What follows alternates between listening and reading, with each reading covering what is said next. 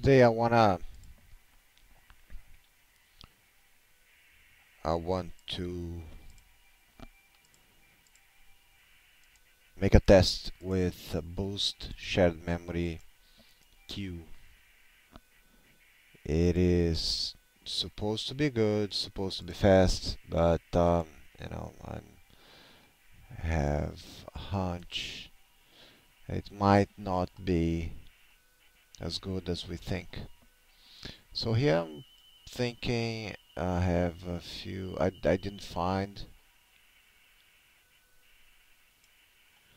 didn't find any uh, of the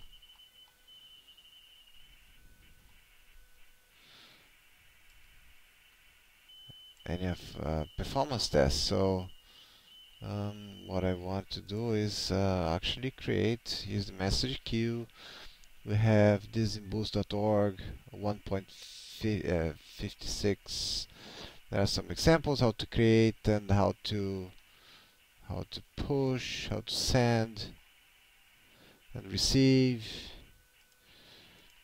Alright so basically what, what I want to do is um, is use a non-blocking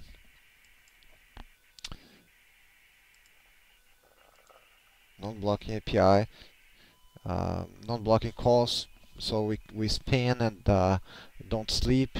That would uh, skew the numbers. I want to be as fast as possible. Let's uh, go ahead and and uh, create this directory um, boost message queue. Um, let's create a file. Um,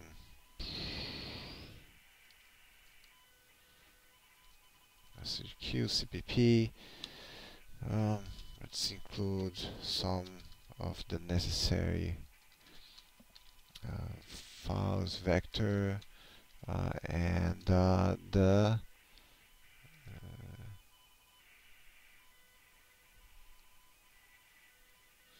actually boost um, message queue. Alright. And uh, what else? Let's define a big number so we can copy let's put the boost uh, namespace boost interprocess so we don't have to be repeating this. Um, I need two functions that I use quite frequently. Those are the TSC and uh, some sort of busy wait um, now I'm gonna have two two functions. One is uh, main one the other main two. So there will be two processes running. Uh, this is quite quite a boilerplate code. Main one else main 2 main 2 um, process 1 I'm gonna push messages and um, and process 2 I'm gonna uh, read messages I have to define the messages now let's assume um, there is a time message where we're gonna have uh, tick and a checksum. It's just a counter. Alright. So this is my message that I'm going to share between these two processes. So main one is process one. Let's begin with uh, try catch. Um, interprocess exception and uh, and printing out what uh, what this process is and and actually we don't even need this it just prints out. Um, second one we're gonna do the same um, because process 1 is gonna send process 2 is gonna receive but this process are pretty much the same. In the try catch um, what I need to do here is actually uh, remove I have to remove whatever message queue is left out there. And here I have to create a message queue. Uh, let's put a thousand thousand slots. Um, right um, this main tool I'm gonna do is um, I have actually to open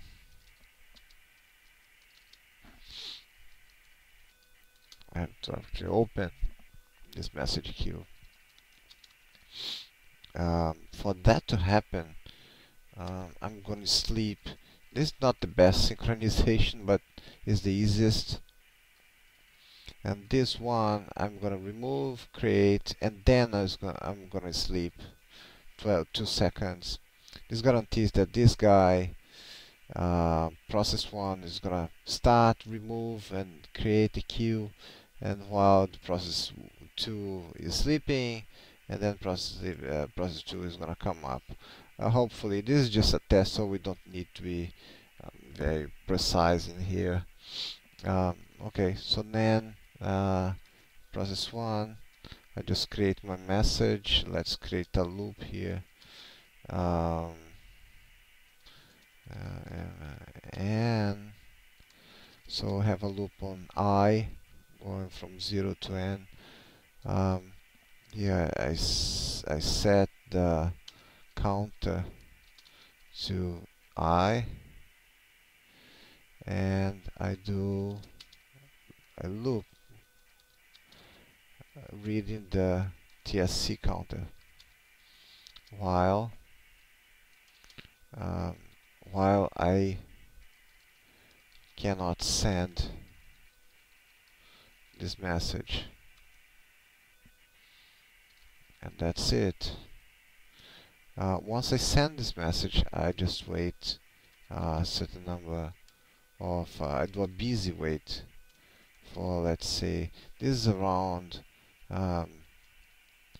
this computer is uh, 3 gigahertz this is around uh, uh, 10 microseconds.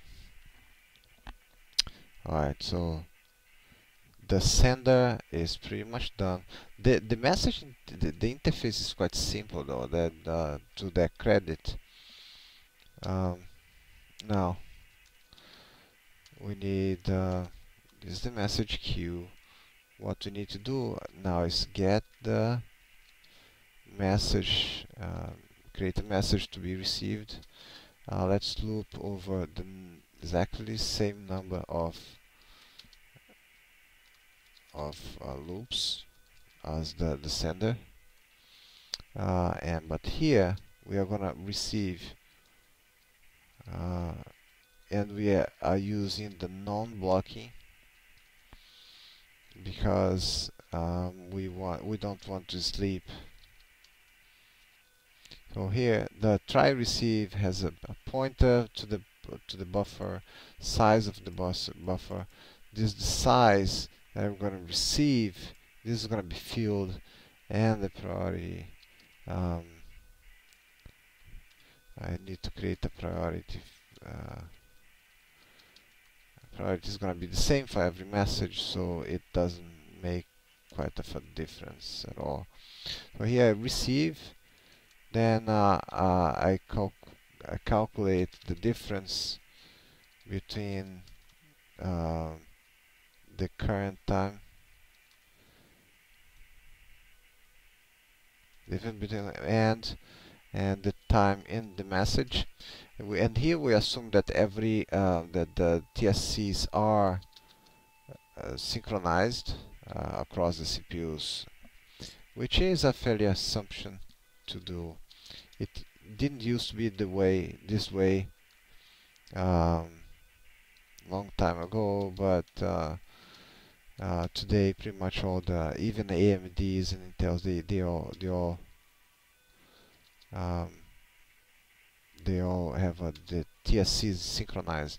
So here I, I print if uh, the size, if my size is different of uh, received, uh, which should never happen. Should never happen. Alright. Um, because I'm in a loop, if this happens, I, I just want to return. I just want to get out of here.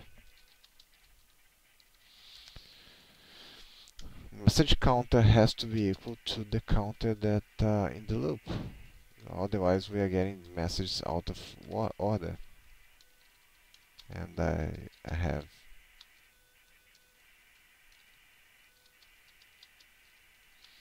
message out of order.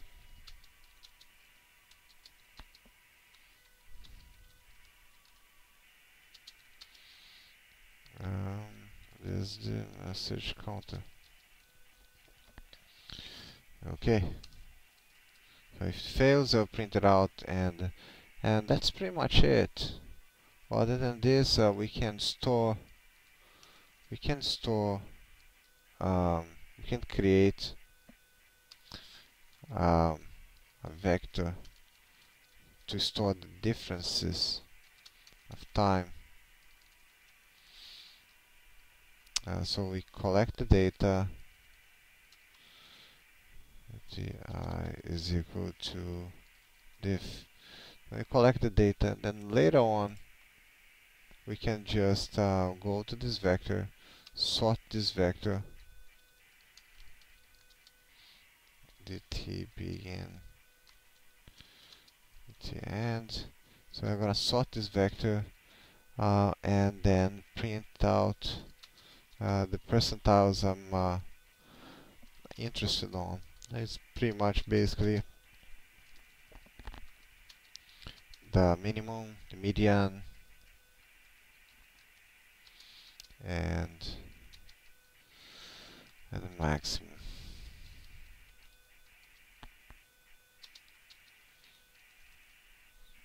Okay, and um, I guess in the end I just need to remove the message queue.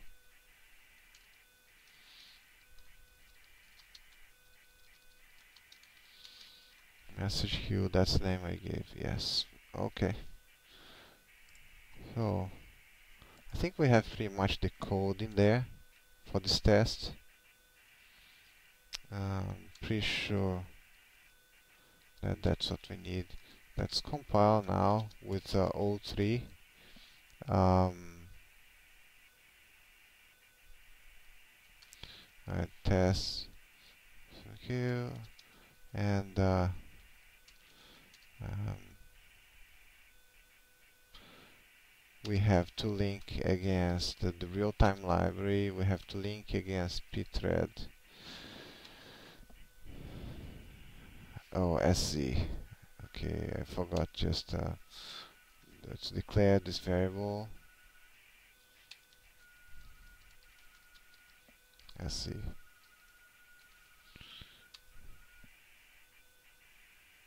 Okay it compiles.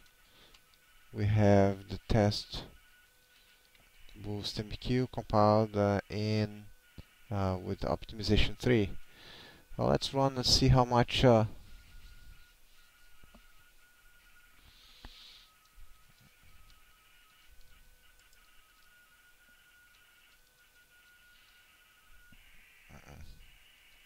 went wrong.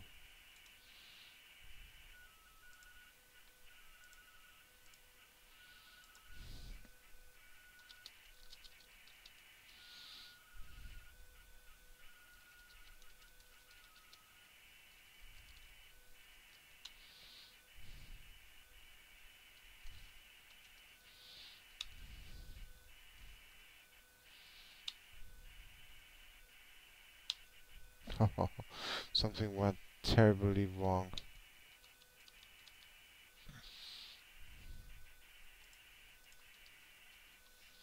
Let's see what's in there. I think I did something wrong with the fork. Oh, this main one.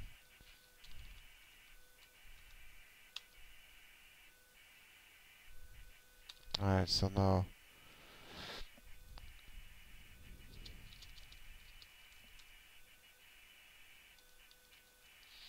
Alright, so let's uh, let's run again.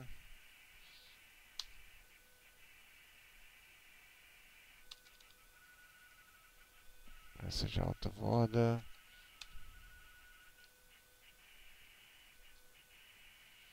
Yeah, this is different.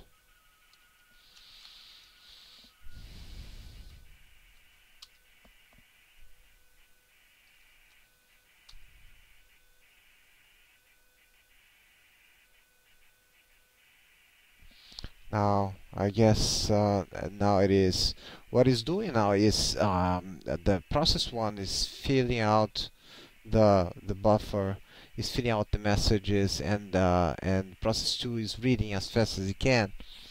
Um, okay so we have